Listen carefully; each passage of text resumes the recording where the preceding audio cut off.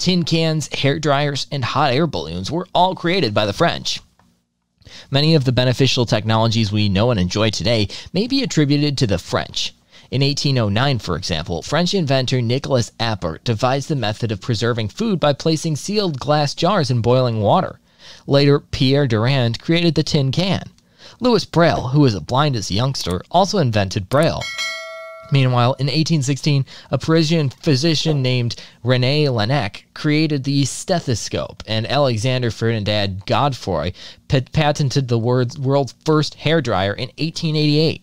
The Montgolfier brothers, Joseph and Etienne, were also pioneers of the magnificent hot air balloon, unveiling the world's first public demonstration of an untethered balloon in 1783.